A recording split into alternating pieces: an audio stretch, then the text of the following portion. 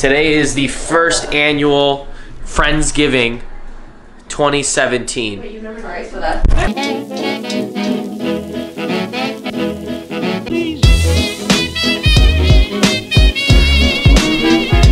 I thought you were saying We're here, you know, hanging out. Thanksgiving dinner closer to Christmas. This girl made us drive us all the way out to Buffalo. Made. And she has a furnace probably, I don't know, 70 years old. Older than my grandmother. I think this is for like a vlog or some shit. You know what trophy you're getting tonight? The youngest person at the party award. Yes!